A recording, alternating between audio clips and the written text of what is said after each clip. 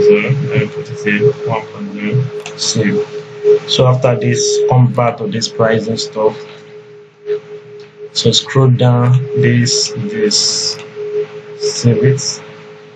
Then back to app contents. So you want to target this this this. Okay so we want to target that here.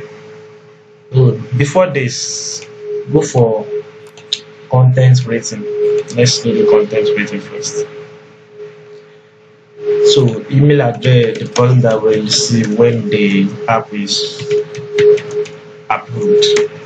So then now this app is on uh, on business. I think the last one. Yes yes everything no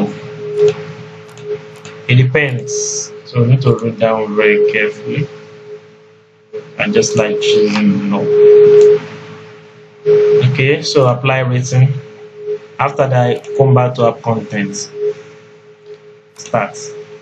This year this one this one three years like this. No.